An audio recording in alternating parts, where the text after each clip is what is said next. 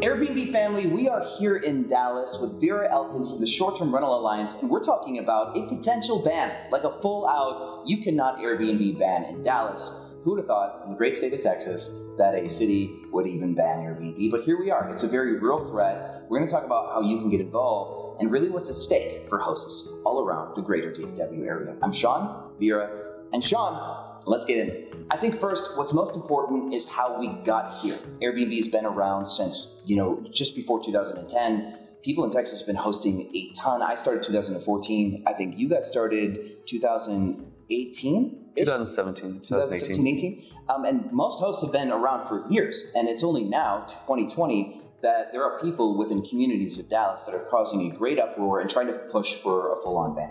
So um, let's talk a little bit of backstory. I guess, like, why are we here in Dallas where people are pushing for bans all of a sudden? Well, I think, you know, the most important thing that we need to realize is that um, there were people that were breaking rules. Okay, mm-hmm. these aren't just. let's not talk about that. You have learned your lesson. Yes. Uh, and so it, that's essentially what we're talking about is bad apples. We're not bad apples, though. Sorry, we're not bad. We're not bad apples. Not everyone is. Our job as an alliance is to educate those folks and say, okay, you've got a trash issue, you've got a noise issue, here's some solutions and let's educate you and let's fight for you. But I believe how we got here to your question is that people started complaining about the small percentage of bad apples. And we're talking minute.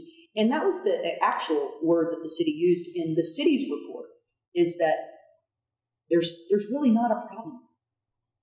Mm. So it's really people talking out neighborhoods and there's just a few people behind that and I won't mention those names. Yeah. can I jump in? Um, so, what I can you speak to kind of like the misnomers or what what a lot of Airbnb hosts they think this is all about trying to really do a hard enforcement on getting the hotel tax or the license or certifications and that's the main focus. But after speaking to the city council people it's more about the the people that show up to the meetings that are really upset about their neighborhoods and noise. And so i know a lot of people that i talk to are just like well i'm just going to start registering. I'm just going to start paying my hotel tax and the problem will go away.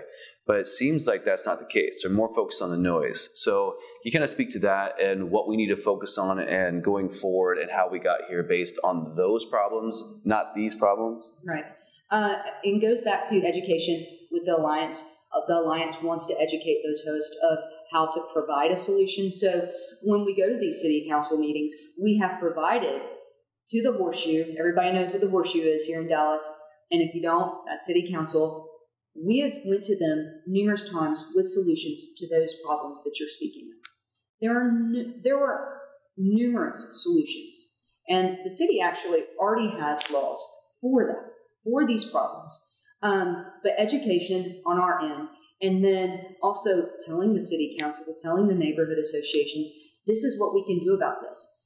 But in my personal opinion, and this is not the opinion of the Alliance, but my personal opinion is they're not going to be happy until they get what they want. And I do believe what they want is a ban. I feel like people, and I'm rambling, but I feel like it's it's true. There are people that this is the this is their their project in their life right now. Maybe they don't have jobs. Maybe they're stay at home moms and they just want this is their, you know, alley that they're going to run in or lane that they're going to run in. Um, and some of it is just polit- politics mm-hmm. and some of it is just to get votes. Yeah. And That's my personal opinion. Also, in my opinion, so I'm not slamming people in HOAs, but there there are people in HOAs that just complain, right? They'll complain about anything. So if there wasn't an Airbnb property on their they would complain about another neighbor doing something else. Weeds. Yeah. or a truck in the front. Or leaves or blowing into their pool or a branch over their fence. Like there's Absolutely. people like this and they're just pointing the gun at Airbnb because it is the easiest thing to gripe. It is. And I mean that is that is the case with any any kind of problem in any kind of neighborhood or you know that's life right mm-hmm. we see people like that all the time if there was a college kid that lived next to them and partied every weekend you know what and i was the landlord i can't just go kick them out that neighbor is still going to live by that college kid or say, I mean, whoever it is um, that's causing the problem. But you can't just go kick them out. And what if it's a neighbor that lives there and parties all the time? we have these rules already in place. I think that we've provided solutions and they've kicked it to zoning because they don't want to make decisions. So, with those rules, what are our rights? And I want to ask you that because I know you research this more than me. With the constitutional right and property ownership, then what what do I have as like a right as a homeowner? I know you do rental arbitrage primarily, mm-hmm. but as far as land rights, what have you researched, and especially what happened in Austin? It actually still affects arbitrage because oh, okay. um, what was pushed through the Supreme Court in Austin was that a host was told that they couldn't Airbnb their house, and bum, bum, the the Supreme Court made a ruling in Austin because a homeowner wanted to Airbnb and was told they were not allowed to and Austin ruled that a city can't make a rule telling a homeowner what they can do with their own property. If their property, they can put it on Airbnb if they want, which includes them allowing someone else to Airbnb their property, which include a tenant. So you can have a co-host or you can have a renter do Airbnb with your permission as the homeowner. So that is something that was ruled in Austin and could have an effect here. If thing, if push came to shove, I think people will still push their constitutional rights. It's Texas. Mm-hmm. Yeah, those are all great points. Yeah. So you got to fight for your right to host, not party. right. So that's how we that's how we got to here, right? And mm-hmm. so what that's that's what's happening. What's happening right now? So as far as um, what you've seen and what you've seen with these council meetings, because I know you've been doing this for years. So what have you seen in the conversation, and why has it shifted more from working with you guys and finding ways to regulate it and make it make sense? to now to saying, actually, we don't want anything to do with this. How about option three? Let's focus on that and throw it to zoning and just ban it completely. How did it go from such a healthy conversation to a throw your hands up in the air, quit, and then just ban it all? Why did we get here? And why is it primarily just Dallas and not just the surrounding cities as well? That's a great question because I have spoken with numerous city council members um, some that are in office, uh, some that are no longer in office. And most of the time, every conversation that we've had is, yes, we want to work with you. And then all of a sudden, it changed. But in my personal opinion, going back to what you said, and we've briefly touched on that, let's keep in mind the season that we're in. They're ramping up for campaigning and things like that. Um, neighborhood associations started getting involved and saying, well, we represent our whole entire neighborhood. Well, that is not true. Okay, because I know of Airbnbs in those neighborhoods that I have friends, you know, they're friends of mine, and they're good hosts and they're good apples, uh, and they host very responsibly. So it's not true, but I do think that that was kind of a turning point um, because then you had neighborhood association presidents and and things like that coming out, and that kind of shifted it. And I also think it's the political season Yeah, um, I will say that prevention is probably better than cure. Maybe we're a little bit late to that, and that's how we got here. Um, a lot of hosts aren't business owners, right? They are people who found an opportunity to put their home online right. and make some money on the side, and then they some of them were like, "This is so cool, I want to do it full time." They've made careers out of it, right. which is also cool because that's the American way. But um, the whole risk management side of the business isn't something a lot of people are attuned to. So, very simply installing like a, a, a, a ring camera on the front door at the front allows people to monitor a home, but some hosts don't have those, or indoor home monitors. Um, there's Minut, and then there's NoiseAware, which are two popular ones. Mm-hmm. Um, NoiseAware, their office is here in Dallas, which is yes. kind of fun in Deep Ellum. They've got an outdoor noise monitor, and then Minut, it's got this indoor one that's got killer features, but a lot of people don't have those. And when I've ever had issues in my Airbnbs that things went more south than they should have, is because we had not yet installed our security devices to have eyes on the property. Mm-hmm. I feel like if hosts all got together to try to hold each other accountable for good, like minimal responsible hosting standards, like keeping an eye on your home so that way things don't get out of control, we could all go to the city and say, hey, most of us are willing to take a responsibility for the mistakes that maybe we've made along the way as we're growing our very small businesses because the, the barrier to entry is low. But you got to give us some training wheels, and we're all coming around. Here's actions we're taking, and installing a noise monitor is one step, and then maybe having um, some sort of social groups where people can say, hey, there's a party going, or there's a, it looks like a party is going to be underway at one of these Airbnb properties. And there's this Airbnb host group in Dallas where people will post stuff. The one happened in Houston, just the same. A guy named Robert, who um, I've been working with him, you know, just like you could call it coaching, but just kind of almost now like just networking with the guy for like five years now. There's a party that was going to happen in Houston, and it wasn't about Airbnb, but it was there's actually a pop up party. They call them viral parties, where Uh-huh. they go on social media. Hey, go, come here in about six hours. They lost their venue, and then they're looking for venues to go. Oh shoot! Wow. And so their last minute thing was, well, let's just book a house in the middle of nowhere. This happened to be one of Robert's houses. And because he's involved in all these little networks, somebody saw a social media post, took a screenshot, sent it to him. He had a cop there before people even showed up. Good And the internet, the whole little 20 year old, 25 year old internet was furious that the party got canceled. They were mad at the club promoter, right? They weren't mad at the Airbnb host. They were mad at the club promoter because Right. the Airbnb host just did their job. Right. And now that club promoter is getting sued for that whole thing. It's like their own mini Houston Fyre Festival. But good prevention is is probably the, the best thing we can He do. dodged a bullet right there. That was, yes. that was a big I- one. I mean, 3,000 people. Excellent. Three thousand people. Oh my god! That is an excellent story. And I tell, but city council members ask us all the time, you know, well, what, what kind of, you talk about being a responsible host, what does that look like? Well, for us, uh, we have a few in my hometown, which I have family there, uh, and that's in Augusta, Georgia. But here, I live around them. Even before parties start, we are there. Because most of the time, I've been hosting long enough where I can see, oh, this is this is someone that potentially may want to party, and at that point, we let them know, and we make it, we make them aware as a host, and we will show up, and we will, you know, intervene if we need to. The one party I showed up to had just got started. Literally, people were still showing up, and I was like, "See you guys. Nope.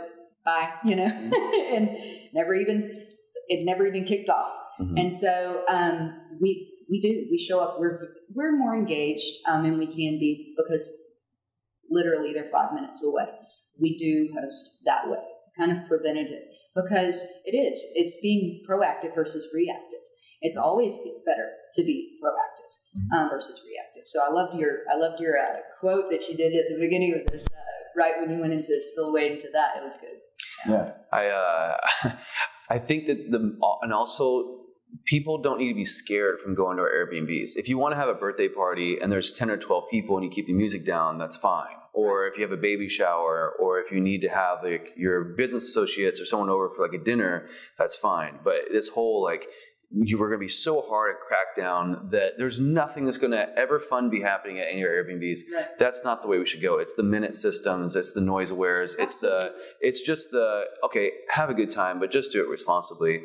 And um, and I just I think so far people have been so aggressive about just nothing at all can happen, and then we'll all be fine. I don't think that's necessarily the most healthy way to go forward. And it's not even Airbnb anymore now, right? Because Airbnb has a, like permanized their made permanent their party ban, right? Right. But now there's other platforms like my house here is on Peerspace, Uh-huh. and I will let 40 people into my home for a dinner party here because they want the view and they set up their own tables and they have catering. People who are going to party now, like official parties, get booked on other avenues, not on Airbnb. It's true. So people will book, hey, I'm, I'm doing a wedding shower or I'm doing a reception. I want 100 people at this place. And they can book on Peerspace. It's not going to be Airbnb. Right. So neighbors who are going to be mad about actual, you know, um, allowed congregations are that they're they can't attack the short-term rental market to stop it. They're going to have to do something else. And the the unauthorized party um, situation that Airbnb Airbnb went through during COVID is really a thing of the past now too. It really spiked right after COVID, and people were told to quarantine, especially in Philadelphia, where I've got some property. They shut down all the bars. So what happened? Naturally, people booked houses for parties. Absolutely. And it was more of a problem with how the city managed their shutdowns. Mhm. And so Airbnbs got like this overflow of activity, but now that has settled down because people can go back to their normal lives again. And I've I've explained that to City Council, um, several members several times. I said, look, I said during COVID, people didn't have any place to go. Now we hosted a lot of people that were like, you know what, I'm coming in to see my family. They're a little bit more COVID than we are, and they have you know circumstances that they need to be. So can we stay at your place, and we're just going to have them over occasionally?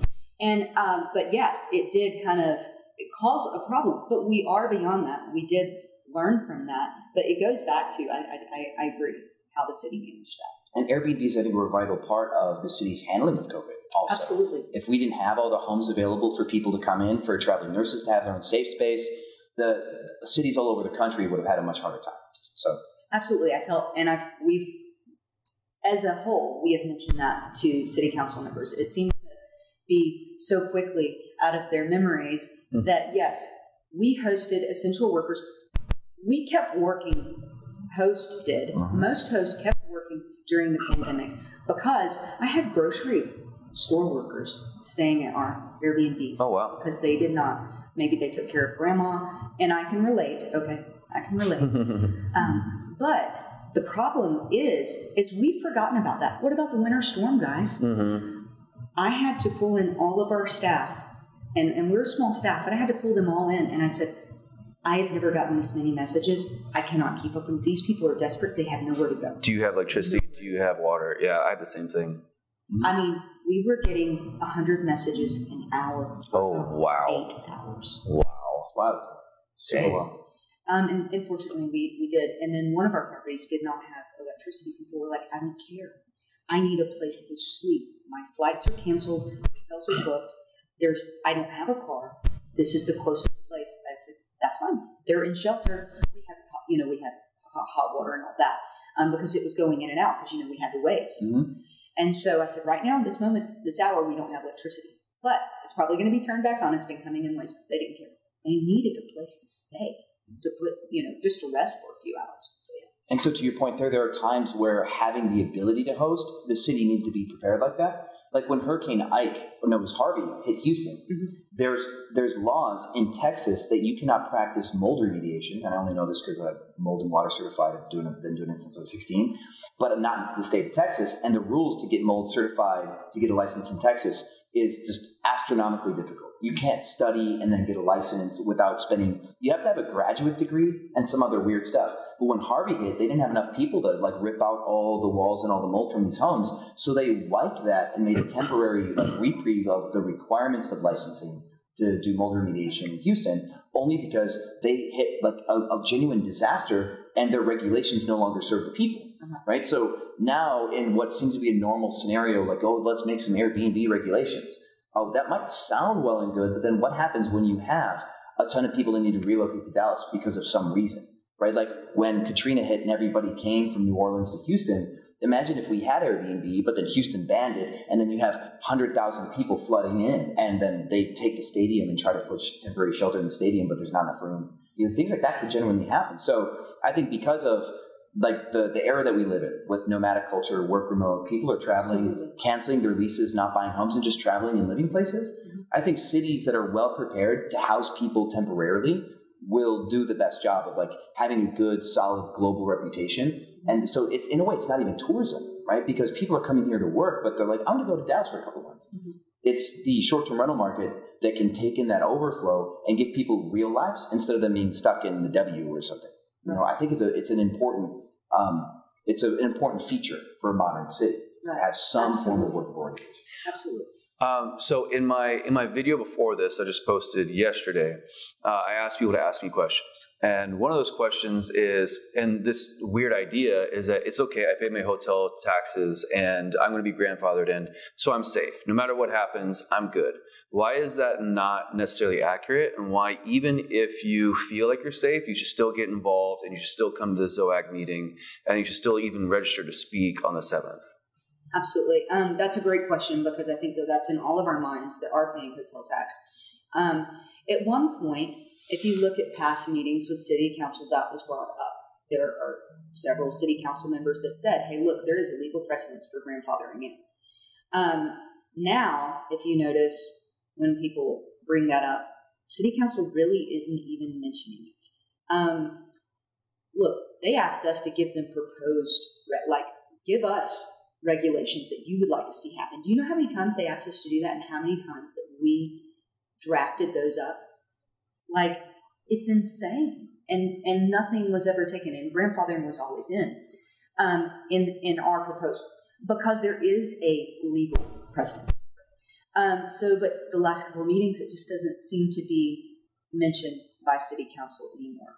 Um, I don't know why that is, other than I think they're scared that people will just go out and register and pay their rental tax. I do think that people need to show up.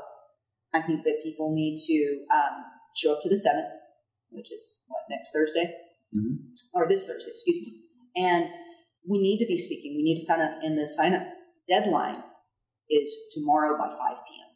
We probably won't have this video out until tomorrow. Uh, Right. I will so do my best to edit this together as fast as humanly possible. Okay. we will find out today. Can this man do it? and then I would have to do I'm the sure you hypercut. oh my god. It's July 4th and we're going to be doing all this on July Yeah, 4th. who knows? We might be. I might be able to make it work. I'll just make Jack's Drive as I go down to Austin, and I'll just work in my side thing. I'll be watching fireworks while editing as well. yeah, that, and that's that's us all as entrepreneurs. We work all the time. And further about the hotel tax and why it may not be enough is you've got two polarized sides, Yes. both that are anti-Airbnb. You've got the naggy neighbor neighborhood people, Mhm. right? And then you've got the hotels. And hotels have lobbyists that are always trying to push short-term rentals out of any city Mhm. because it takes money off of their plate. Mhm. And I'm sure a hotel would gladly write a fat check to some politician if they decide to, you know, kind of like forget that people are paying their hotel taxes. The hotel's like, we'll, we'll, we'll, we'll like write you some extra money just so you forget about the hotel taxes you could make from that. We want to be the only people making revenue here. Yeah. So that's a game. One of the things that I was in, I was in Myrtle Beach a couple of weeks ago, and I spoke with a retired, you know, short-term rentals. They're not a new thing; they've always been around. Mhm. Um, and so she'd been in the industry and the hotel industry for quite some time, um, and is retired. And so she was asking me about, you know, what I do, da da da da da, and this all came up, and she said, "This was a suggestion she made. I'm not telling uh, you know people to do this, but it is it, it was a good suggestion." She said, "When you go to these meetings." If you're paying your hotel tax, bring that record with you or have a letter from your CPA or something and say, here's what I'm paying to the city of Dallas, and here's the letter that you asked us to register. So we keep talking about a registration system. Really, there is already one in place. Let's not forget that. Um, just because we quote, uh, you know, a definition in a code and then we refer to the tax law, well, that is your definition and it is in your code. Just because you refer out, that- that doesn't matter. You refer to it in your code. It's not just a tax code that we're talking about. That was the registration system that we have. That's what we currently have. So they asked us to register. They told us we had to register to be legal. This is a public announcement that's online. You can go find it, or you probably have the letter if you've kept it. Mhm. Bring that to the meeting and bring a letter from your CPA or from your you know legal staff or whatever, and say, "Hey, this is what you asked me to do. I'm registered. Here's the money I've paid. I did what you said. You've taken my money. Why? Why? So be? And that's my take on the grandfathering in of actions that needs to be done from us host. Um, I have a lot. A lot of people have been asking me, should we just jump on the jump jump in front of the train and just do all the registration and the hotel tax because we haven't done it so far? Would that make any difference at this point? What if what if we fail and then we later on try to litigate grandfathering in, and then now we show records that we were paying hotel, even if it was only for like two or three months or or five months. Right. Does it even matter to register or do hotel taxes this time, or is it a little bit too late?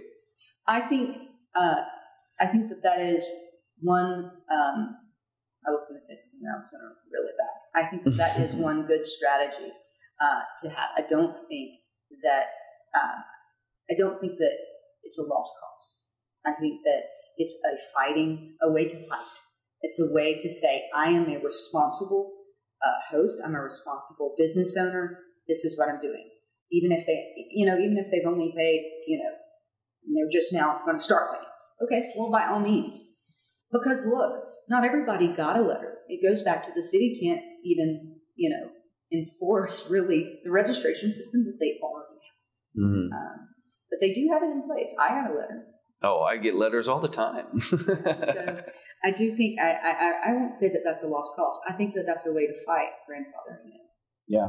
So the city would do best to make a strategic decision to create some form of middle ground regulation that they can manage, right? Because if they do push this too far and say no one in any residential areas can have an Airbnb, that will just encourage disobedience. Because when you look at the law of large numbers, there will be people who decide to say, well, I'm already running good. Yeah. Take my guns, right? Yeah. That whole thing. Come and take it. So, um, and, and in that case, then they'll have even more work to do from people who are no longer cooperative. Right. But and so it's better to use a carrot than a stick in this case. Um, I think our voice as a collective of hosts in, in Dallas is to appeal to common sense to the, the council members that hey, you can do something that people will cooperate with and gladly follow along, or you could do something stupid that now you are all of a sudden public enemy number one in the short term rental space, and it's not going to go away because you banned it. Right. Now you're just going to get a lack of cooperation. So that's a very good segue into another large question is what is the difference between option one, two, and three? And why is one and two something that could be a soft, soft ban and like a potential way we can work around and work with the city, whereas option three is pretty much just like a Right. just burn burn the burn the burn the trenches, burn the farms. Well, burn, What's it burn- called? uh, you can burn the I'll burn all the bridges. I mean, like Burn the bridges? boats. I mean, What's like, it? Burn the there's a lot of like burn, burn some it all? stuff. Burn it all? I mean- burn the land. Uh, What's the quote? so, a burn Well- ban. well, whatever the Romans did. Yeah, when they scorched earth. Yeah. Got it. So I mean, there's scorched earth. things being thrown out, and and you know, you could look at the the three options, but then that really. All, all of those are significantly a, a ban, okay? Because even within those, there's a, the 1500 uh, foot rule, and then you've got uh, that you know you can only have so so many, and there's so many things that are being talked about um, that it's like it is confusing. So I understand those questions. It goes back to because even within those regulations, there are things that would essentially ban some short term rentals. So there's what we want to do is like what you talked about very, very sensible, common sense, reasonable, and not overly restrictive regulations. Um, so we can we can look at either all of those, but we want the bare minimum. And uh, the last time I looked, I think that's option B. But let me just tell you that option B, A, B, and C, and D have all changed at one point in time. Um, if that makes any sense, because look, I have I have read over so many proposed regulations. Like it makes me wonder, like what are my tax dollars going towards? Because we've been fighting over this, and we've been. I mean, so what? Somebody's back in their office down at City Hall coming up with this. This that takes work, Mhm. and our tax dollars are paying for just somebody. Just sit around all day. Another reason to defend residential Airbnbs or short term rentals is because as home prices get higher and higher, people get pushed out because they can't afford their taxes and can't afford their lifestyle. The, the, remember the island of Korcula we went to in Italy, Mhm. right? Or Croatia, sorry, Croatia. The people who lived in Korcula, their properties got crazier and crazier, and they would have either been forced to sell to some foreign investor, like an Italian investor in Croatia, or they put their own home on the short-term rental market, and they were able to keep their fourth generation home, Mhm. right? So when you look at gentrifying communities, you're like, oh, this is so bad because people are pushing in and turning them into Airbnbs. Well, actually, what that is is showing the locals what they can do with their own home to be able to keep their property and not have to sell it to BlackRock one day. Right. So if we banned Airbnbs and everybody started selling properties and we started to push the market down into the ground, then what we would do is we'd be unloading properties probably to an investment portfolio. There'd be people who have the liquidity to buy up a neighborhood and they don't care about Dallas because there's some nationwide fund. And we'd be handing our properties to people who are not DFW. So to, to answer your question, I mean, because there's going to be a lot of options, and then at this next meeting and the next city council meeting, those options are going to change. What people need to know is is that you need to read any kind of option that is put out. What we want is an option that is that, that because even within you have to look into the details of even if it's very soft regulations, as you use that word, and I like that. Um, you have to look at the details of that because as an alliance, it's our job to represent all of short-term rentals. Well, even some of those soft regulations are kind of would put a ban on some short-term rentals. Um, and if they're good apples, we don't want to do that. So we can look at these options all day long, um, and they're going essentially. If, if we continue to do what we've been doing, city council meeting, if they continue to just pass the ball and pass the ball, those options are going to change and they're going to look different. Um, so, but what we do need is we need very reasonable short-term rental regulations that will not ban any short-term rentals. So, not you know single family, not multifamily, various things. Um, definitely doesn't need to go to zoning um, because potentially all of those really will put some sort of ban on on some type of short-term rental. I, I know you don't work for the city, but say for instance, Mhm. we lose and it, it's a full ban. and then the city says, "Hey, we need to we need to start regulating this," and everyone starts trying to sell their house or put on put it on um, rentals. The housing market gets screwed up, the rental market gets screwed up, but then the Airbnb uh, owners that don't decide to participate, they just keep running their business. Do you know, um, in your own personal opinion, do you know what the repercussions might be of something of someone in those situations that just say, "I don't want to sell, I don't want to turn it into long term rental, I just want to." play the risk and keep going? Have you heard I of anything? There, so there have been a lot of things that have been talked. Look, if you've ever been in these all-day city council meetings, it's like it's like we're going to talk about the same thing and beat the hell out of something, and then not come up with a solution. Okay, um, a lot of things are tossed around, but essentially it's hefty fines, um, and and they accumulate. So it's not just one fine, but they're going to accumulate, uh, and so that the accumulation of those fines is what's the scary thing, right? If it was just one fee, well, you know, that wouldn't seem heavy enough as what they were basically saying. So that's what's been tossed around. But if you don't pay those fines, right? Like what happens? I'm, I'm sure that there's a process. It's just like the same thing. I, I live in a historical district with my personal home.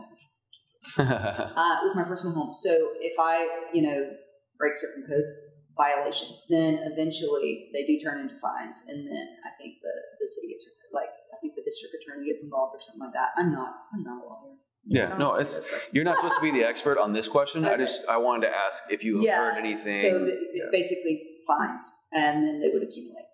Mm-hmm. So.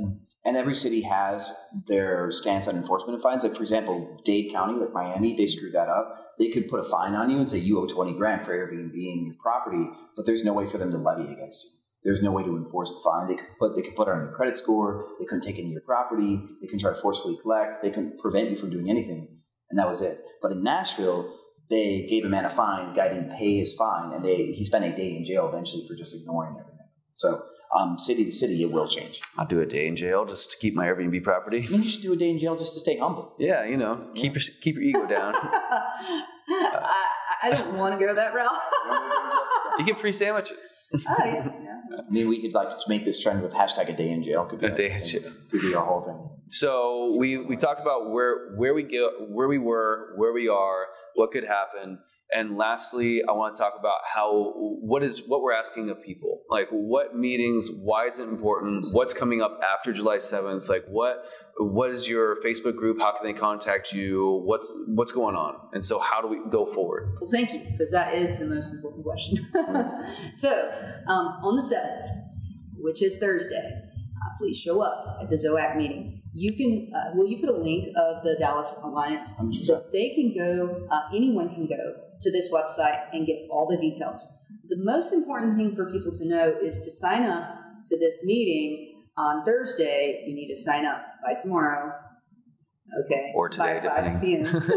or today. So Tuesday, July 5th, 5 p.m. Yes, sir. Yes, okay. Yes, sir. Yes, sir. And then if you will continue to look onto our website, the Alliance website, uh, and if you sign up, we will send out emails. We are, we are communicating with people. Airbnb is communicating with people on every meeting. We need we don't need people just to show up to seven. And sometimes the city will do a briefing and let you know three days in advance. Um, we need people to to sign up and show up at every meeting possible. It is serious, and if they don't hear from us, they're going to hear for every one, you know, just one pro, they've got three antis. And that is their personal agenda to get as many to people show up uh, that they can, and they've been they've been effective in the past. Now, thanks to you, thanks to you, hopefully we'll get the word out. 100 percent. How, how, how should they be prepared? Um, show up all suit and ties, or show up casual like a normal everyday guy or girl? Um, show up with a professional speech written, or just go off the heart? What should they even talk about? what are is it going to be five hours of just sitting there bored as hell or is it going to be interactive just for those people that are sitting at home right now and they've they've never been to something like this before and they're nervous to show up what should they expect well i think that you should come uh, you know business casual uh, and number number one you always want to be respectful they are leaders whether we agree with them or not um, and and being respectful uh, shows uh, represents the alliance well and it represents host well um, in the aspect of what they should bring up um, and talk about. Well, I think that they should be prepared. Um, the last meeting, I was not prepared because the city sent out wrong information. I had to speed home to get to my computer to do it because I was going to do it via phone. Um, and I was not prepared because I spent, you know, so much time trying to get to the meeting. That being said, um, I think it's very important. Just have it three topics of why you're doing it, like you're hosting, and what's your personal story, uh, because that goes a long ways. Um, for me, it's because I, I take care of my grandmother, so it's it's huge. That's how I got into it. Um, also, that you're a responsible host, um, and that this would this would devastate you, and also about your. Uh, I would for people that are paying their hotel tax. I would definitely bring the public notice or the letter you got. If you don't have that public notice, go online. It's there. It's a public notice. Get it because a public notice means all of us and anybody that lives in here uh, in in Dallas. That was your public notice so bring that, bring, you know, say, hey, I've registered, et cetera, et cetera, because then it's showing that you're responsible host. The people showing up, they're tallying, tallying these numbers at the end of every meeting. To your next question, whether it's going to be five hours, three hours, or all day, well, if people will sign up as soon as they get these emails from the Alliance, so go to our website, sign up to get these emails, sign up to be members if you're a host, or even if you're just a friend of a host, or if you're a cleaner, a house cleaner, or a maintenance person, whatever, because it, it takes, I mean, it takes all of us showing up, okay? So if you'll get our emails, we're going to tell you specifically what to do. We're also going to give you talking points. Um, and so we kind of lay it out to where the people at home that are nervous they don't have to be because everything is in that email. We also post stuff on Twitter and on uh, Facebook. In the aspect of if it's going to be all day, sign up quickly, sign up as soon as you can. That way, it's first come, first serve when it comes to signing up. Uh, and just don't give up. I've sat in a meeting literally for eight hours and then spoke. Um, I a lot of people don't have that time. A lot of people, you know, that's this is not their, you know, they work nine to five. I suggest doing a um, do it over phone or do it over Zoom, but you can also do it in person. Um, so it's it's up to the individual, but we make it very easy. The Alliance makes it very easy, and we prepare people the best way we can. And in Detroit, when uh, they banned and they fixed it, mm-hmm. um, they get their ban repealed. The people that really drove that home were the workers, like the housekeepers and stuff like right. that. So that having a story like I rely on the short-term rental market for my for my livelihood. It gives me the kind of job that I need to live my life, XYZ. Are more people who were in financial hardship and were able to survive financial hardship with their first property, or right. maybe their first and second because new family properties or whatever, is the little people's stories. It absolutely really is. And I, I just want to say, like, I tell people all the time, especially when I speak to city council members, I'm like, we voted you in, but I just want to let you know why it's so important to us it's not just about me putting food on my table and for my family, and it's not just about me taking care of my grandmother. But I have a staff. I have a small staff. They're not. I don't have a big staff.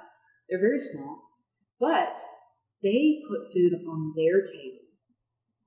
You know, so and so just had a newborn.